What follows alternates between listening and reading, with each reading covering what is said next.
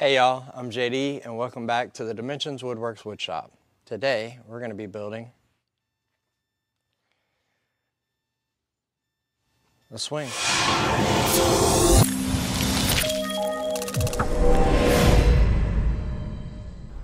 So this is where the process begins. In the lumber yard we got some pretty eastern red cedar.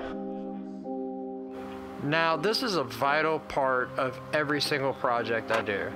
I typically go to the lumberyard with my cut list in hand. I know the length and widths of all the boards I'll need, and I begin to sift through the pile to see which pieces best fit my needs.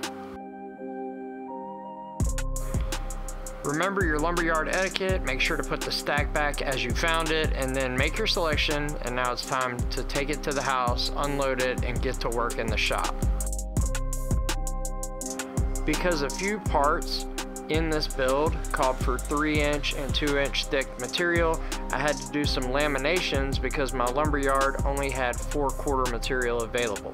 So I just get them cleaned up, put a liberal amount of glue on it, then I kind of stumbled on a little trick in this build by using the sheetrock mud knife, then sprinkle down a little bit of salt to keep it from slipping and sliding too much while in the clamps, and get to gluing the boards together.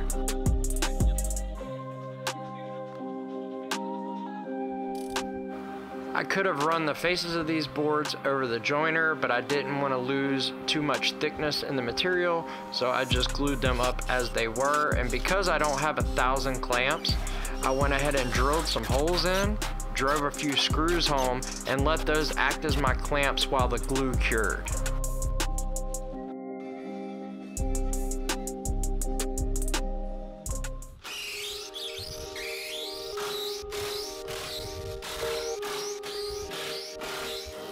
After letting the glue cure overnight, I removed all the screws, then took my laminations to the joiner to get a true face to reference off the table saw fence, trimmed that slight edge off the outside so I had two square edges, then I made the cut right down the middle for these two 4 inch wide boards that I needed out of the 8 inch lamination.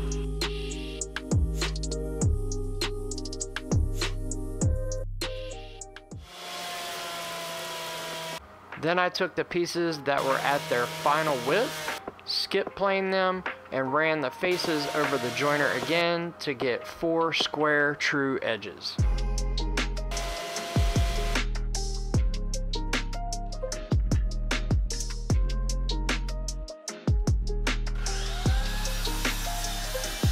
I took them to the miter saw and cut them to their final length and began the layout for the main frame to assemble the swing arbor.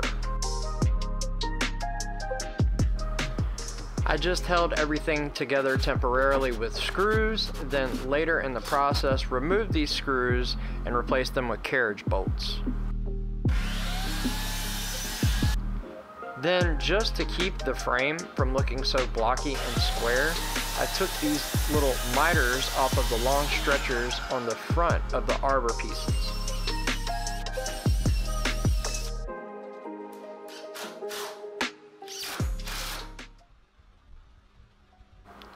I again tacked everything in place with some screws temporarily so that I could keep moving forward with the design.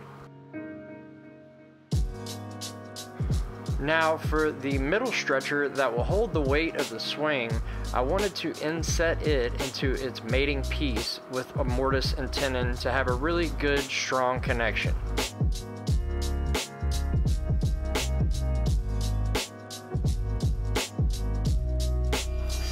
Could make this cut a few ways. It would be much quicker with a dado stack, but it was just a few tenons, so I decided to leave the regular saw blade in the table saw and just get them cut.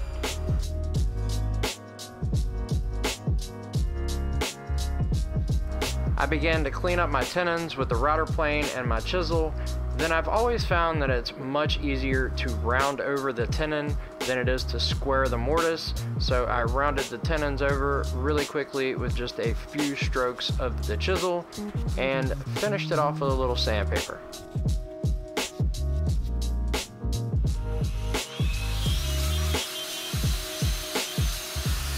and a spiral upcut bit in my router made quick work of these two mortises.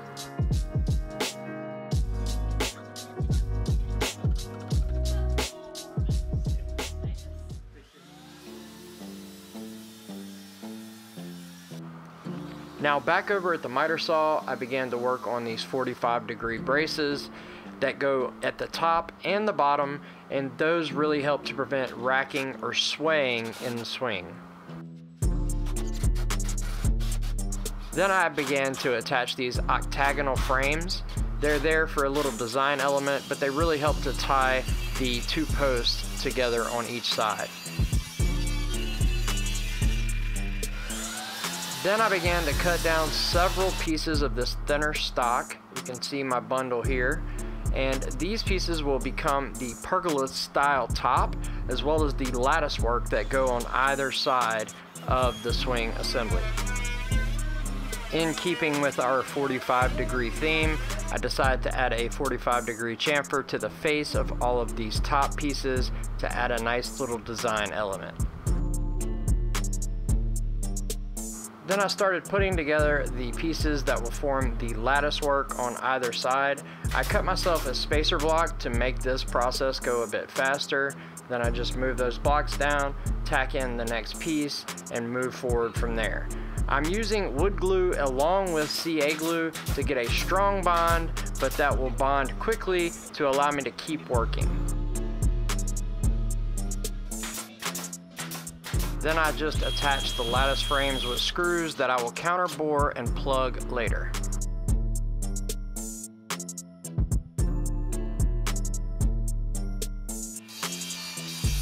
Now that the construction of the arbor frame is complete, it's time to turn our attentions to the swing itself. And because I have several repeating pieces, I want to go ahead and make templates for these pieces so that each of them are identical and they all line up perfectly in the end product. If you want to make any minor changes to the design, the template is the place to do it. Once you're happy with your template and have it dialed in, we can move along to the real pieces. I use my angle finder to give the back of the seat of the swing a slight slope. Once I'm sure I'm happy with that angle, I move forward in using the templates to create the actual pieces for the frame of the swing. I just use a few pieces of double-sided tape to stick the template to the actual stock that we'll be using. Rough cut it out on the bandsaw, then get the final shape dialed in with the flush trim bit on the router table.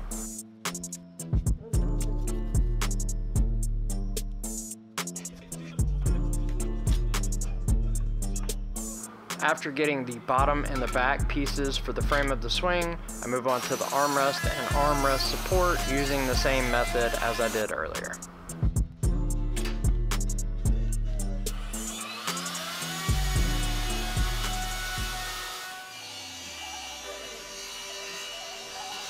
Back over at the table saw, I began to cut out the slats for the seat on the swing.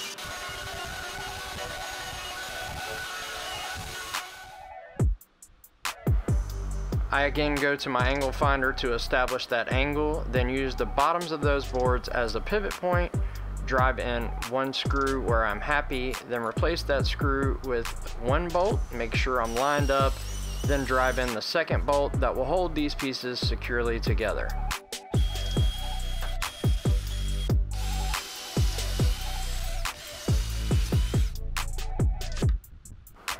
After drilling a couple of pocket holes, I secure the armrest support to the seat bottom and the armrest itself to the armrest support and the seat back.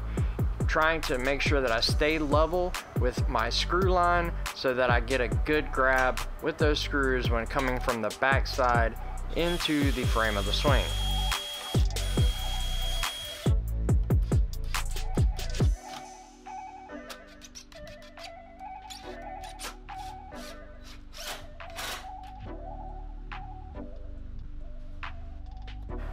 After we have those frame pieces for the swing assembled and we're happy with the way everything looks and lines up, it's time to lay out the holes that the chain will pass through as well as the cup holder and the armrest.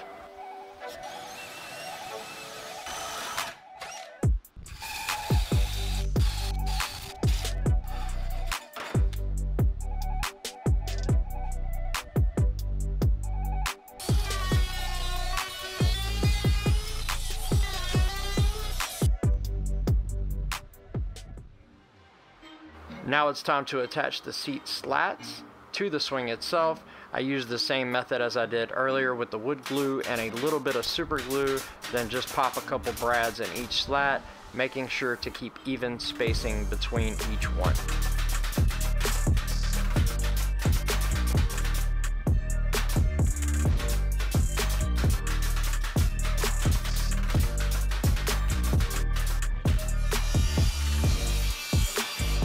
Now it's time to finish off our cup holders and our armrest. And if you're like me, you can't buy cedar dowels to match your swing. So I had to make some dowels on my own. Using this great tip I got from Tamar at 3x3 Custom, I used a roundover bit, half the radius of what I wanted my final dowel diameter to be, then just ran the roundover on all four sides. I cut those ends off and I chuck it up in my drill to give it a nice final sanding and we end up with pretty uniform dowels.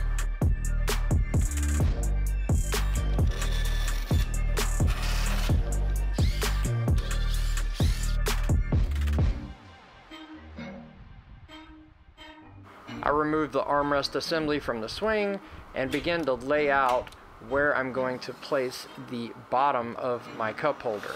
I want something there at the bottom to support the bottom of a can or cup when it's placed in the cup holder, but I also wanted it to be pretty small and non-obtrusive, so this is the method I came up with.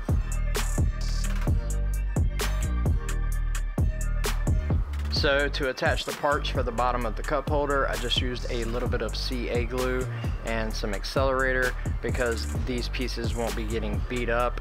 And it just allowed it to bond quickly and to keep moving in the project.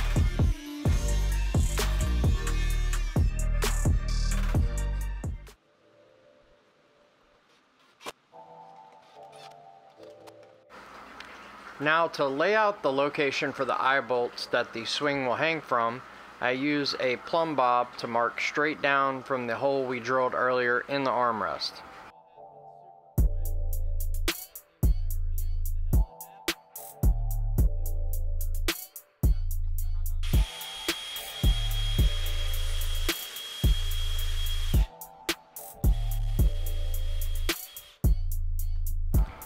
I use a fender washer on the outside of the eye bolt to help disperse the load across the face of the wood so that we don't get any cracking down the road. Then we're going to utilize that waste piece from cutting out our cup holder so that both eye bolts are on the same plane. It's exactly the thickness as the bottom frame of the swing. Another fender washer and we will attach it to the seat back of the swing. We want a lot of rigidity in these four contact points because they will be carrying the load of the swing and whomever is sitting in it.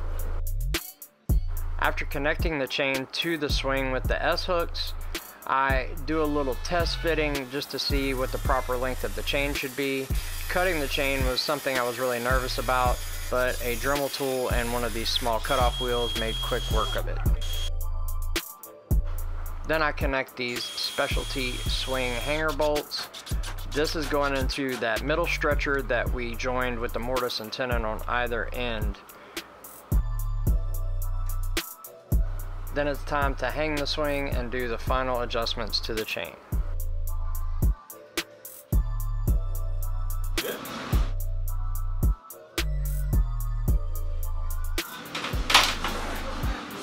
A little more weight than me. Yeah. Your beer will go in there easily. Grab my Yeti. Wanna swing with me?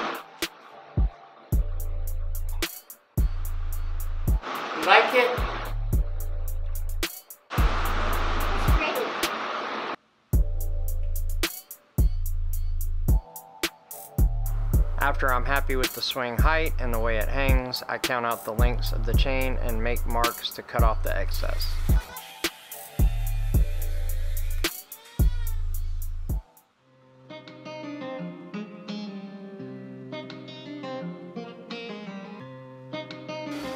Then it was time to prep everything for finish. I took all the major pieces apart, sanded everything to get it ready to spray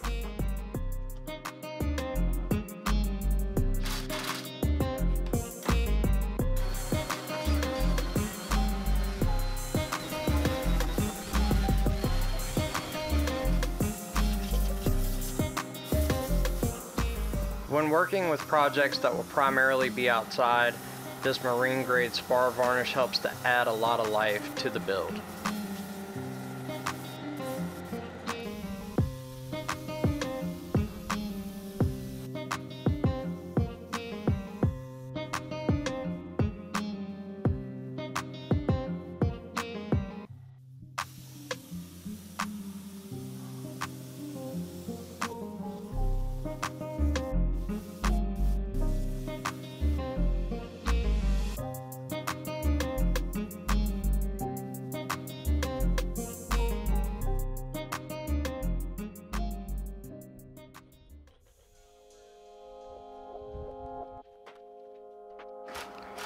After the finish has had time to cure, it's time to reassemble all the parts and get the swing back together.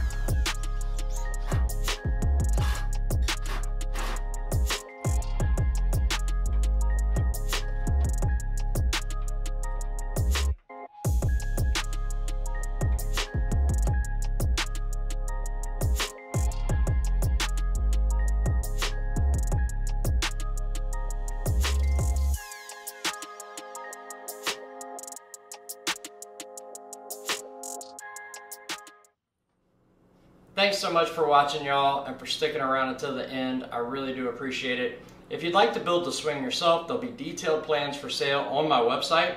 If you want to support the channel and not have to spend a dime, all you have to do is like, comment, share, and subscribe to the channel, and that really goes a long way to supporting what we do. I had a lot of fun building this one, and hopefully the owners of the swing will have some of those memorable moments like you saw with my daughter in the video. And until next time, don't forget to get better every day.